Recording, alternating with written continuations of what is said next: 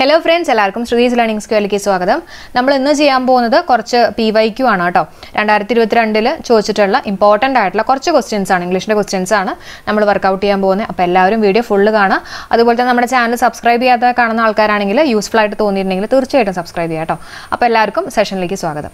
അപ്പോൾ ഈ കഴിഞ്ഞ എൽ ഡി ക്ലർക്കിന്റെ ടൈപ്പിസ്റ്റ് എക്സാമിന്റെ ഇംഗ്ലീഷ് സെക്ഷൻ നമുക്കൊന്ന് ഡിസ്കസ് ചെയ്യാം കേട്ടോ. അപ്പോൾ ഫസ്റ്റ് വേണമെന്ന് ശ്രദ്ധിച്ചോളൂ. സിനോണിം ഓഫ് ഡിസ്ട്രസ് ഡിസ്ട്രെസ് എന്ന് പറഞ്ഞാൽ എന്താ? വേദന അല്ലെങ്കിൽ ദുരവസ്ഥ ആ ഒരു മീനിങ് ഒക്കെയാണ് ഡിസ്ട്രെസ് എന്ന് പറഞ്ഞു കഴിഞ്ഞാൽ നമുക്കറിയാം ഒരു നെഗറ്റീവ് മീനിങ് ആണ്. അപ്പോൾ നമുക്ക് ആൻസർ അറിഞ്ഞില്ലെങ്കിൽ കൂടി ഒന്ന് ജസ്റ്റ് നോക്കിയേ. ഹാപ്പിനെസ് എന്ന് പറഞ്ഞാൽ എന്തായാലും പോസിറ്റീവ് ആണ്. അപ്പോൾ ഇതെന്തായാലും വരില്ല. പിന്നെ ഏതാ? സൂത്ത് നമ്മൾ ഈ സൂത്തനിങ് എഫക്റ്റ് എന്നൊക്കെ പറയില്ല? അപ്പോൾ സൂത്ത് എന്ന് പറഞ്ഞാലും അതൊരു പോസിറ്റീവ് രീതിയിൽ തന്നെയാണ് നമ്മൾ എടുക്കുന്നത് അപ്പോൾ ഇതും പറ്റില്ല. പിന്നെയുള്ളത് കംഫോർട്ടും ഉണ്ട് ആംഗ്വിഷും ഉണ്ട്. കംഫോർട്ട് നമുക്ക് അർത്ഥം അറിയില്ലെങ്കിൽ കൂടി കംഫോർട്ട് ഈ തുണിയിലൊക്കെ യൂസ് ചെയ്യുന്ന കംഫോർട്ട് അറിയില്ലേ? അപ്പോൾ തന്നെ നമുക്കറിയാം എന്തായാലും ഒരു പോസിറ്റീവ് ആയിരിക്കും എന്നുള്ള രീതിയിൽ നമുക്ക് എടുക്കാം. കംഫോർട്ട് എന്ന് പറഞ്ഞാൽ എന്താ ശരിക്കും? ഒരു എന്താ പറയുക ഒരു സുഖം ഒരു ആശ്വാസം എന്നുള്ളൊരു മീനിങ് ഒക്കെയാണ് കംഫോർട്ടിന്റെ കേട്ടോ. അപ്പം ഇതും എന്തായാലും പോസിറ്റീവ് ആണ് ഇതും പറ്റില്ല. പിന്നെ ആംഗ്വിഷ് ആംഗ്വിഷ് നമുക്കറിയാം ഒരു നെഗറ്റീവ് മീനിങ് ആണ് അല്ലേ? ആംഗ്വിഷ് ആണ് ഡിസ്ട്രെസ്സിന്റെ സിനോണിം ഓക്കെ അല്ലേ? അടുത്ത് നോക്കാം. Dash means an inclination to fight അപ്പം ആൻ ഇൻക്ലിനേഷൻ ടു ഫൈറ്റ് എന്ന് പറഞ്ഞാൽ എഗ്രഷൻ ആണ് കേട്ടോ. ഒന്ന് പഠിച്ചു വെച്ചേക്കണേ. എഗ്രഷൻ ആണ്. The past participle form of leaders ലീഡിന്റെ third form ആണ്. പാസ്റ്റ് പാർട്ടിസിപ്പൾ ഫോം എന്ന് പറഞ്ഞാൽ V one V two V three അല്ല വി ത്രീ ഫോം ആണ്. അത് ലെഡ് ആണ്. അപ്പോൾ വി ടു ആണെങ്കിലും ലെഡ് വി ത്രീ ആണെങ്കിലും ലെഡ് തന്നെയാണ് കേട്ടോ. അടുത്ത് നോക്കാം. സ്കോർച്ചിങ് ഇസ് ഡാഷ് വെർബാണോ നൗൺ ആണോ? അഡ്ജക്റ്റീവ് ആണോ? സ്കോർച്ചിങ് എന്ന് പറഞ്ഞാൽ എന്താ? ഭയങ്കര ചൂടുള്ള എന്നുള്ളൊരു മീനിങ് ആണ് കേട്ടോ. അപ്പോൾ അഡ്ജക്റ്റീവ് ആണ്. ഓക്കെ സ്കോർച്ചിങ് എന്ന് പറഞ്ഞാൽ അഡ്ജക്റ്റീവ് ആണ്. ഇപ്പോൾ ഒരു സെന്റൻസ് പറയുകയാണെങ്കിൽ the scorching sun the scorching sun എന്ന് പറഞ്ഞാൽ സണ്ണിനെ അതായത് നൗണിനെ വിശേഷിപ്പിക്കുന്ന ഒന്നാണ് ഈ സ്കോർച്ചിങ് എന്ന് പറയുന്നത്. അപ്പോൾ അതെന്തായിരിക്കും? അഡ്ജക്റ്റീവ് ആയിരിക്കും. ഓക്കെ ഇനി സ്കോർച്ച് ഞാനത് കണക്ട് ചെയ്ത് മുമ്പ് പഠിപ്പിച്ചു തന്നിട്ടുണ്ടായിരുന്നു. നമ്മൾ ഈ സ്കോച്ച് എന്നുള്ള രീതിയിലൊക്കെ ആലോചിക്കാമല്ലോ. അപ്പോൾ ഹോട്ട് ഡ്രിങ്ക് എന്നുള്ള രീതിയിലൊക്കെ നമുക്ക് എടുക്കാം. അപ്പോൾ അങ്ങനെയായിട്ടൊന്ന് വേണമെങ്കിൽ ഓർത്ത് വയ്ക്കുക. വെരി ഹോട്ട് എന്നുള്ളൊരു മീനിങ് ആണ്. അടുത്തത് every school and college dash a playground every school and college every വെച്ചിട്ട് അല്ലെങ്കിൽ ഈച്ച് വെച്ചിട്ടൊക്കെ തുടങ്ങി കഴിയുമ്പോൾ അവിടെ നമ്മൾ യൂസ് ചെയ്യുന്നത് എന്തായിരിക്കും? Singular form of the verb ആയിരിക്കും. ഹാസ് ആണ് യൂസ് ചെയ്യുക കേട്ടോ നെക്സ്റ്റ് വൺ നോക്കാം. Dash means to escape from punishment പണിഷ്മെന്റിൽ നിന്ന് എസ്കേപ്പ് ചെയ്യുക അതിന്റെ കറസ്പോണ്ടിങ് മീനിങ് വരുന്ന ഏതാ? ബീറ്റ് ദി റാപ്പ് ആണ് കേട്ടോ ബീറ്റ് ദി റാപ്പ് എന്ന് പറഞ്ഞാൽ പണിഷ്മെന്റിൽ നിന്ന് എസ്കേപ്പ് ചെയ്യുക എന്നുള്ളൊരു മീനിങ് ആണ്. ഈ റാപ്പ് എന്ന് പറഞ്ഞാൽ ശിക്ഷ എന്നുള്ളൊരു മീനിങ് ഒക്കെയാണ് വരുന്നത്. കേട്ടോ റാപ്പ് അപ്പം ശിക്ഷയിൽ നിന്ന് ബീറ്റ് ചെയ്യുക എന്നൊക്കെ പറഞ്ഞാൽ അതിൽ നിന്ന് എസ്കേപ്പ് ചെയ്യുക ആ ഒരു തരത്തിൽ നമുക്ക് ഓർത്ത് വയ്ക്കാം കേട്ടോ. റൺ അറൗണ്ട് ഇൻ സർക്കിൾസ് എന്ന് പറഞ്ഞാൽ എന്താ? നമ്മളിപ്പോൾ എന്തെങ്കിലും ഒരു കാര്യം ഒരുപാട് പ്രാവശ്യം ഇങ്ങനെ റിപ്പീറ്റഡ് ആയിട്ട് ചെയ്തുകൊണ്ടിരിക്കുക പക്ഷെ നമുക്ക് അതിന് പ്രത്യേകിച്ച് വലിയ അച്ചീവ്മെന്റും കാര്യങ്ങളൊന്നും കിട്ടുന്നില്ല. അപ്പോൾ അതിനെയാണ് റൺ അറൗണ്ട് ഇൻ സർക്കിൾസ് എന്ന് പറഞ്ഞാൽ സർക്കിൾ തന്നെ ഓർത്ത് നോക്കിയേ. കണ്ടോ? ഒരുപാട് പ്രാവശ്യം നമ്മൾ ഇങ്ങനെ ചെയ്തുകൊണ്ടിരിക്കുകയാണ് റിപ്പീറ്റഡ് ആയിട്ട് ചെയ്തുകൊണ്ടിരിക്കുക പക്ഷേ അതിന് പ്രത്യേകിച്ച് ഒരു എന്താ അതിന്റെ റിസൾട്ട് ഒരു സർക്കിൾ തന്നെ അല്ലേ? ഒരു ആനമൊട്ട എന്നുള്ള രീതിയിൽ അതിന് പ്രത്യേകിച്ച് അച്ചീവ്മെന്റ് ഒന്നും നമുക്ക് കിട്ടുന്നില്ല എന്നുള്ള രീതിയിൽ ആലോചിക്കാം. Okay run around in circles ഒരു എക്സാമ്പിൾ പറയുകയാണെങ്കിൽ the discussion went round and round in circles അപ്പം ഡിസ്കഷൻ ഇങ്ങനെ നടന്നുകൊണ്ടിരുന്നു പക്ഷേ അതിന് പ്രത്യേകിച്ചൊരു എന്താ ഒരു കൺക്ലൂഷനോ അങ്ങനെയുള്ളൊരു കാര്യമൊന്നും എത്തിയിട്ടില്ല. ആ ഒരു മീനിങ് ആണ് കേട്ടോ. ബ്ലാക്ക് ഷീപ്പ് നിങ്ങൾക്ക് എല്ലാവർക്കും അറിയായിരിക്കും. ഒരു ഫാമിലിയിലെ ബ്ലാക്ക് ഷീപ്പ് എന്ന് പറഞ്ഞാൽ അതിലത്തെ ഒരു ഡിസ്റെപ്യൂട്ടബിൾ മെമ്പറാണ് അതായത് ബാക്കി മെമ്പേഴ്സിൽ നിന്ന് വ്യത്യസ്തമായിട്ടുള്ള ഒരാളാണ് എന്നുള്ളൊരു മീനിങ് ആണ് വരുന്നത്. ബട്ടറപ്പ് എന്ന് പറഞ്ഞാൽ എന്താ? പ്രേസ് ചെയ്യുക ഫ്ലാറ്റർ ചെയ്യുക എന്നുള്ളൊരു മീനിങ് ഒക്കെയാണ്. നമ്മളിങ്ങനെ സോപ്പ് ഇടുക എന്നൊക്കെ പറയില്ലേ? അതുപോലെ തന്നെയാണ് ബട്ടർ കേട്ടോ. അപ്പം അതൊക്കെ ഒന്ന് ഓർത്ത് വെച്ചേക്കാം അടുത്ത ക്വസ്റ്റ്യൻ നോക്കാം. Dash is in the passive form അപ്പോൾ ഇതിൽ നാല് ഓപ്ഷൻസ് കൊടുത്തിട്ടുണ്ട്. ഇതിൽ ഏതാണ്? പാസീവ് ഫോം എന്നുള്ളത് നോക്കാം. അപ്പോൾ ജസ്റ്റ് ഒന്ന് ആലോചിച്ചോളൂ. പാസീവ് എന്ന് പറയുമ്പോൾ എങ്ങനെയായിരിക്കും? എന്തായാലും V three form of the verb ഉണ്ടാവും എന്നുള്ളത് നമുക്കറിയാം. അല്ല? തേർഡ് ഫോം ഉണ്ടാവും. അപ്പം ഐ എൻ ജി കൂട്ടിയിട്ടുള്ള ആൾക്കാരെയൊക്കെ നമുക്കങ്ങ് വെട്ടിക്കളയാം കേട്ടോ. അത് എന്തായാലും ഉണ്ടാവില്ലല്ലോ. പിന്നെ he was given a pen ഉണ്ട്. He had given a pen പാസീവിനകത്ത് നമ്മൾ ഹാസ് ഹാഡ് ഹാവ് ഒക്കെ വന്നു കഴിഞ്ഞാൽ അതിനുശേഷം ബീൻ ചേർക്കണം എന്നുള്ളത് നമ്മൾ പല പ്രാവശ്യം പഠിച്ചിട്ടുള്ളതാണ്. അപ്പോൾ ഇതെന്തായാലും പറ്റില്ല. നമ്മുടെ ആൻസർ എന്താ? He was given a pen അടുത്ത് നോക്കാം dash is correctly spelled accommodation നമ്മൾ മുമ്പ് ഡിസ്കസ് ചെയ്തിട്ടുള്ളതാണ് കേട്ടോ. അക്കോമഡേഷനകത്ത് എന്തൊക്കെയാണ് പറഞ്ഞിരുന്നത് രണ്ട് സി ഉണ്ട് രണ്ട് എം ഉണ്ട് എന്നൊക്കെ നമ്മൾ പറഞ്ഞിരുന്നു. അതിനെ അക്കോമഡേറ്റ് ചെയ്യണം എന്നൊക്കെ പറഞ്ഞിരുന്നു അല്ലേ? നമ്മുടെ ആൻസർ എന്താ വരുന്നത് ഇതാണ് കേട്ടോ. രണ്ട് സി ഉണ്ട് രണ്ട് എം ഉണ്ട്. അടുത്ത question he hardly speaks English simple ആയിട്ടുള്ള ഒരു ക്വസ്റ്റ്യൻ ആണ്. ക്വസ്റ്റ്യൻ ടാഗിൽ നിന്ന് ഹാർഡ്ലി സ്കെയർസ്ലി റെയർലി ഒക്കെ വരുമ്പോൾ നെഗറ്റീവ് ആണ്. അപ്പോൾ ഈ ഒരു ഭാഗം പോസിറ്റീവ് ആയിരിക്കണം. പിന്നെ ഓക്സിലറി വെർബിനെ കണ്ടുപിടിക്കണം. സ്പീക്സ് എന്ന് പറഞ്ഞു കൊടുത്തിട്ടുണ്ട്. എസ് ഉണ്ട്. അപ്പോൾ എങ്ങനെ എഴുതും? ഡസ് സ്പീക്ക് എന്ന് പറഞ്ഞു എഴുതും. ഡസ് കിട്ടി.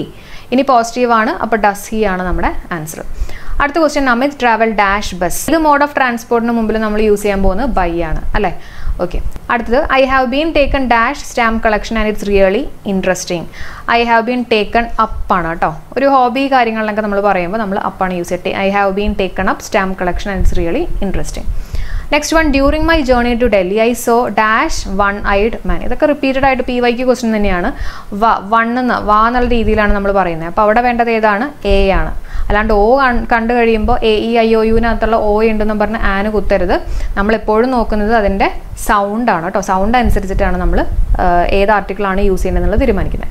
അടുത്തത് Shruti said please wait here till I return can be reported as reported സ്പീച്ചാണ് അപ്പോൾ ഈ പ്ലീസ് ഒക്കെ കണ്ടു കഴിയുമ്പോൾ നമുക്കറിയാം അവിടെ നമ്മൾ എപ്പോഴും ഒരു ടൂ കൂട്ടിയിട്ടൊക്കെയാണ് പറയാറുള്ളത് അല്ലേ? അപ്പോൾ നമുക്ക് ടൂ ഉള്ള ഇത് മൂന്നെണ്ണത്തിനും ടൂ ഉണ്ട്. നമുക്ക് ഈ ഫസ്റ്റ് വണ്ണിനെ അങ്ങ് എടുത്ത് മാറ്റാം കേട്ടോ. ഇതെന്തായാലും ആൻസർ ആയിട്ട് വരില്ല. പിന്നെ പ്ലീസ് വന്നുകൊണ്ട് റിക്വസ്റ്റഡ് ഉണ്ട്. Okay please wait here till I return okay please wait here ആണ് വന്നിട്ടുള്ളത്. ഇവിടെ വെയിറ്റ് ചെയ്യാനാണ് പറഞ്ഞിട്ടുള്ളത്. അപ്പോൾ ഞാനത് റിപ്പോർട്ട് ചെയ്യുമ്പോൾ ഞാൻ ഇവിടെ വെയിറ്റ് ചെയ്യാമെന്ന് പറഞ്ഞിട്ടാണോ ഞാൻ റിപ്പോർട്ട് ചെയ്യുക അല്ല അവിടെ വെയിറ്റ് ചെയ്യാമെന്ന് പറഞ്ഞിട്ടായിരിക്കും ഞാൻ റിപ്പോർട്ട് ചെയ്യുന്നത് അപ്പോൾ ഹിയർ പറ്റുമോ ഇല്ല. അപ്പോൾ ഈ ഹിയർ ഉള്ള ആൾക്കാരെ ഞാൻ അങ്ങ് വെട്ടിക്കളഞ്ഞു. അപ്പോൾ തന്നെ ആൻസർ ആയല്ലോ. Shruti requested me to wait there till she return okay അല്ലേ? അടുത്ത ക്വസ്റ്റ്യൻ നോക്കാം. If you told the truth dash direct question ആണ് ഇഫ് യു ടോൾഡ് ടോൾഡ് എന്ന് പറയുമ്പോൾ നമുക്കറിയാം എന്താ ടെല്ലിന്റെ പാസ്റ്റൻസ് ആണ് വി ടു ഫോം ആണെന്നറിയാം അല്ലേ? അപ്പോൾ ഇഫ് ക്ലോസിന്റെ സെക്കൻഡ് കണ്ടീഷനാണ് സെക്കൻഡ് കണ്ടീഷനിൽ എന്താ പറയുന്നത് അതായത് പാസ്റ്റൻസ് ആണെങ്കിൽ ഇവിടെ എന്ത് വരണം? എന്തായാലും വുഡ് വരണം എന്നുള്ളത് അറിയാം ഓക്കെ നമുക്ക് ഫസ്റ്റ് ആളെ വെട്ടിക്കളയാം ഇത് വില്ലല്ലേ ഇത് എന്തായാലും പറ്റില്ല. പിന്നെ വുഡിന് ശേഷം എന്താ വരണ്ടേ? V one form of the verb വരണം. വി വൺ ഫോം എന്ന് പറഞ്ഞാൽ എന്താ? ഈ ബീൻ എന്ന് പറഞ്ഞാൽ എന്താ? വി ത്രീ വരും. അപ്പോൾ ഇതെന്തായാലും പറ്റില്ല. വി വൺ എന്ന് പറഞ്ഞാൽ ബി ആണ് കേട്ടോ? ബിയുടെ തേർഡ് ഫോമാണ് ബീൻ എന്ന് പറയുന്നത്.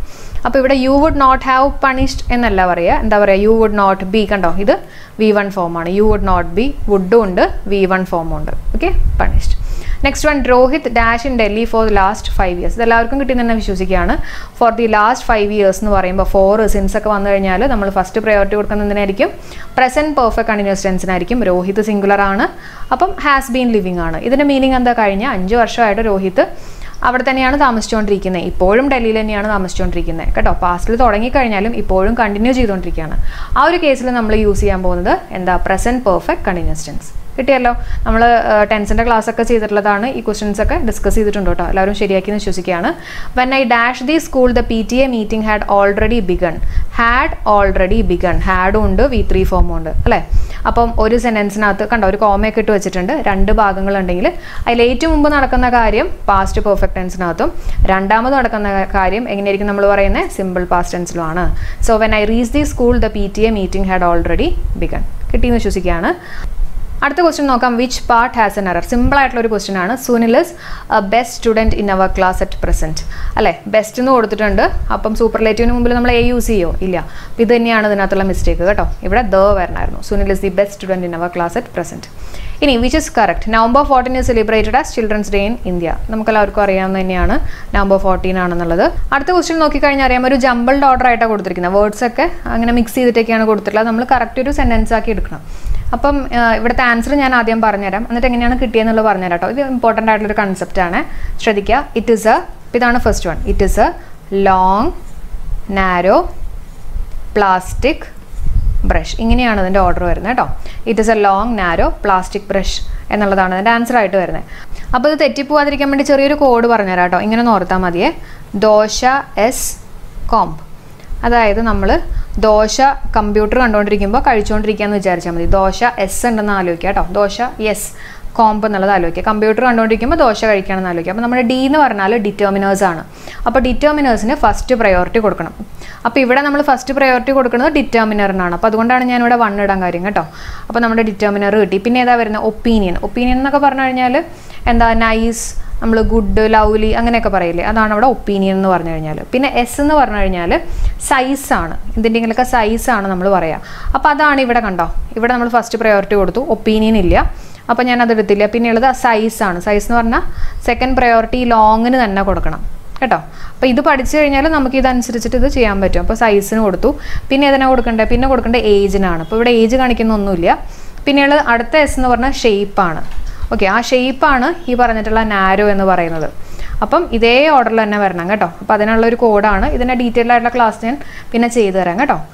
ലാസ്റ്റ് ക്വസ്റ്റ്യൻ നോക്കാം. No sooner did I reach station dash എല്ലാവർക്കും അറിയായിരിക്കും. നോ സൂണറിന്റെ ഒപ്പം നമ്മൾ യൂസ് ചെയ്യുന്ന ഒരു വാക്ക് ചെയ്ത ദാൻ ആണ് അല്ലേ? സോ ഇതാണ് നമ്മുടെ ആൻസർ ആയിട്ട് വരുന്നത്. No sooner did I reach station than the train left okay first one the car blew up after it fell down into the deep pit answer എന്താ വരുന്നത് ബ്ലൂ അപ്പ് എന്ന് പറഞ്ഞാൽ എക്സ്പ്ലോഡ് ചെയ്യുക കേട്ടോ. പൊട്ടിത്തെറിക്കുക. എക്സ്പ്ലോഡ് ചെയ്യുക എന്നുള്ളൊരു മീനിങ് ആണ്. Okay car ഒരു വലിയൊരു കുഴിയിൽ വീണ് കഴിഞ്ഞപ്പോൾ അതിങ്ങനെ പൊട്ടിത്തെറിച്ചു. ബ്ലൂ അപ്പ് അടുത്ത ക്വസ്റ്റ്യനിലേക്ക് വരാം I don't think the authorities will ever dash to the students demands അപ്പോൾ ഇവിടെ വരുന്ന ആൻസർ എക്സീഡ് ആണ്. എക്സീഡ് ചെയ്യുക എന്ന് പറഞ്ഞു കഴിഞ്ഞാൽ അംഗീകരിക്കുക. അല്ലേ? കുട്ടികളുടെ സ്റ്റുഡൻസിന്റെ ഡിമാൻഡ്സിനെ അംഗീകരിക്കുന്നില്ല അതോറിറ്റീസ് എന്നുള്ളൊരു മീനിങ് ആണ് വരുന്നത് എക്സീഡ് ഓക്കെ അടുത്ത question he walked into his house and found dash his surprise that there was water all over the floor.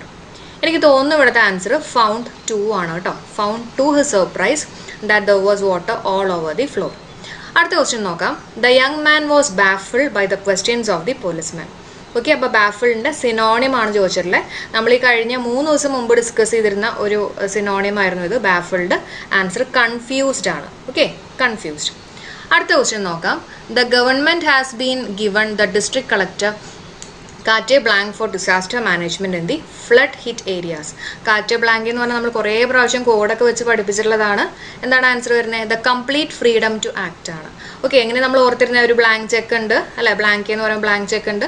നമുക്ക് കംപ്ലീറ്റ് ഫ്രീഡം ആണ് അതിനകത്ത് എന്ത് വേണമെങ്കിലും എഴുതിയെടുക്കാനുള്ള കംപ്ലീറ്റ് ഫ്രീഡം എന്നുള്ള രീതിയിലൊക്കെ പഠിപ്പിച്ചു തന്നിരുന്നു കേട്ടോ.